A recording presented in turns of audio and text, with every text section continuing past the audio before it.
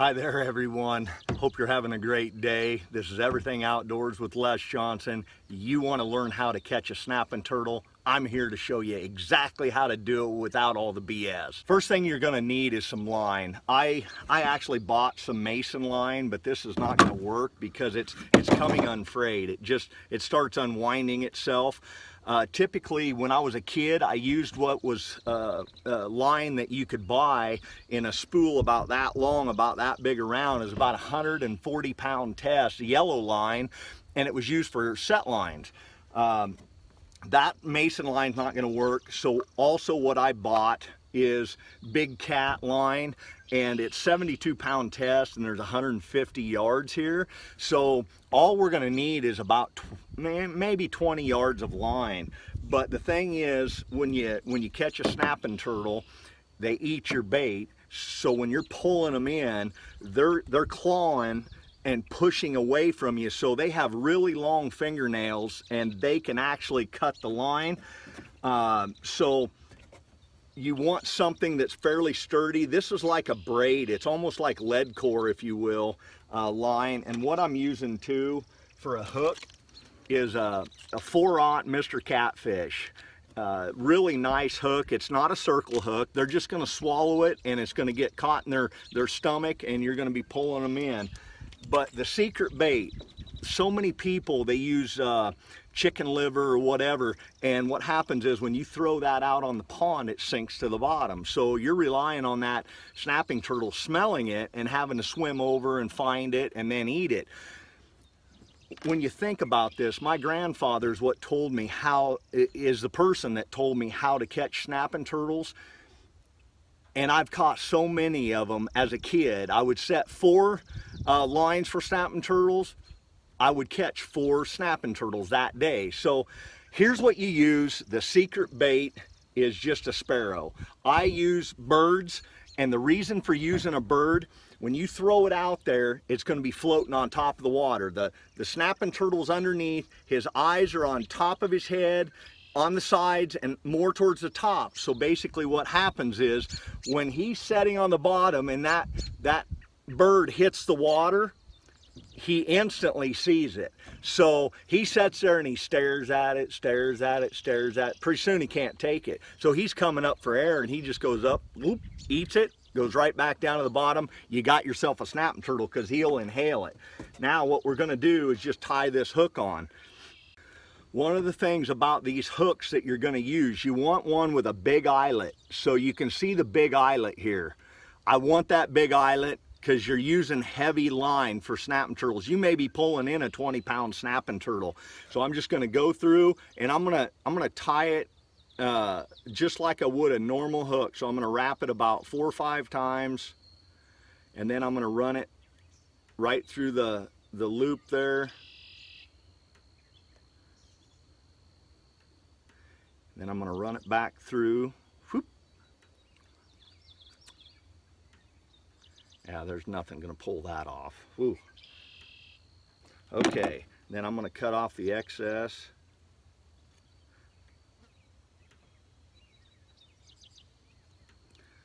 Okay.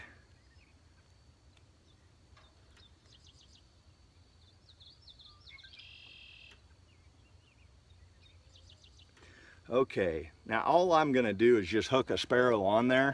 Basically, um, you want him to float on surface and you're either going to have to hunt your sparrows or you're going to have to uh, pull them out of your uh, front of your vehicle sometime and just throw them in a freezer. They'll last forever. So if you've got a bird, I'm just going to try to bury that hook in him and hook across the backbone so he's just like that.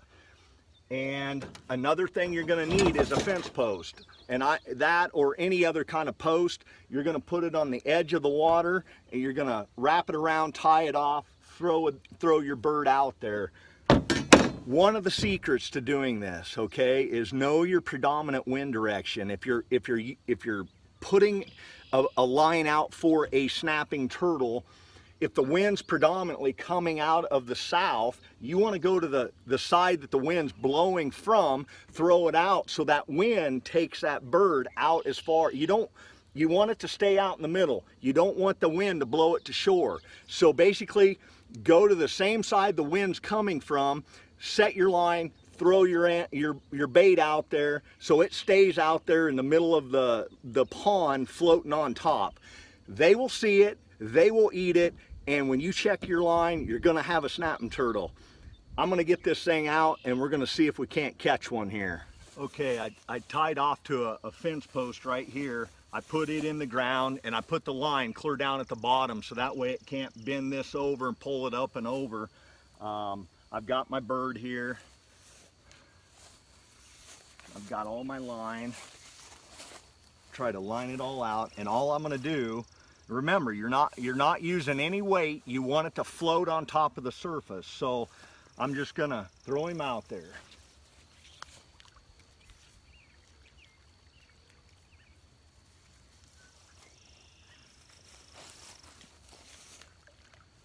Now he's, he's out there about 20, 30 feet. I've got some spare line here and he's just floating out there. Uh, I'll zoom up on him here in a little bit, but it's just gonna float there. That snapping turtle down in the, the bottom, I don't even know if there's one in here in this lake or this pond. It's a tiny pond, but I'll guarantee you there, there is. And as soon as that thing hit the surface, snapping turtle, he noticed it. So he's down there looking at it we're gonna see if we can catch one right here. We'll check the trap probably, or the, the line later today. We're gonna go set a few more, see if we can't get a little snapping turtle line going. Let's go.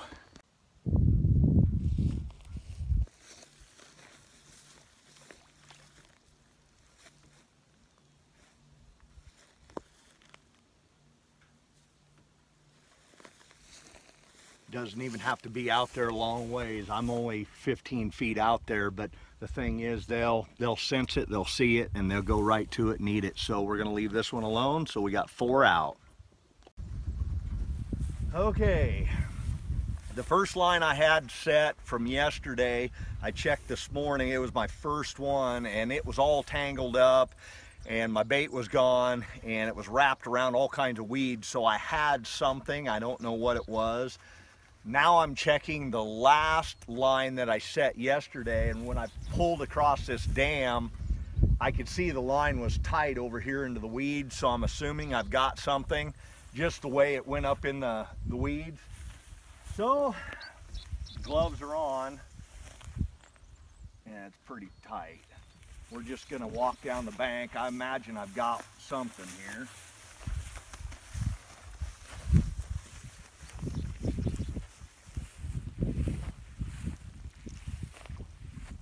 Yep, got a big old snapper here.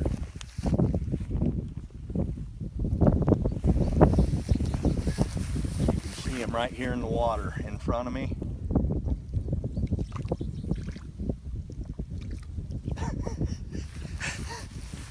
okay.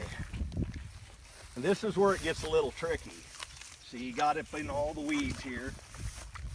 He doesn't want to come in at all, so I got to grab his tail and he's already snapping, so I don't know what's going to happen here.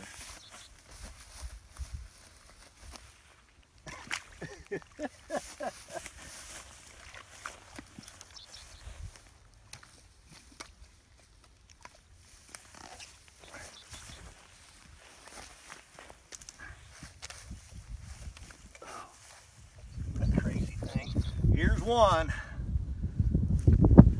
So uh, you can get closer. I'm not gonna get you. But this is what they look like, right?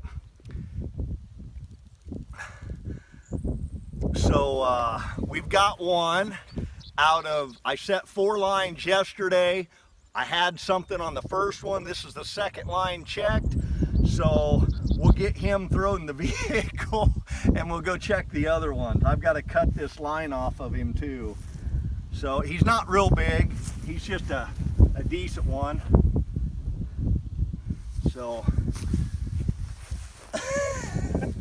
you're jumping an awful lot.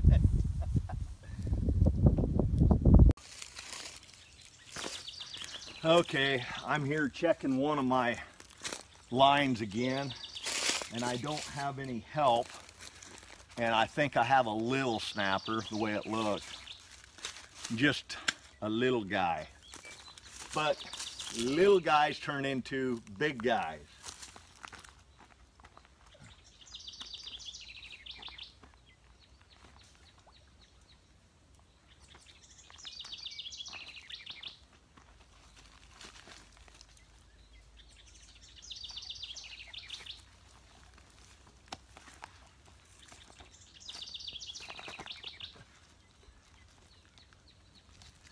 Okay.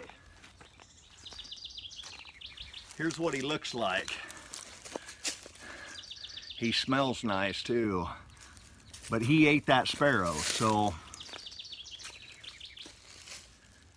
they're just they're kind of mean. You know what I mean?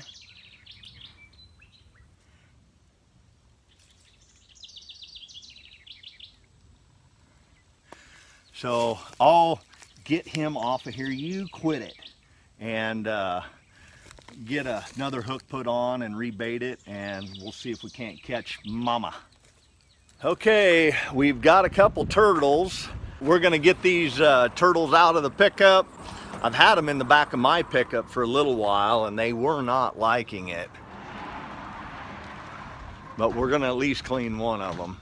You can see there's one of them.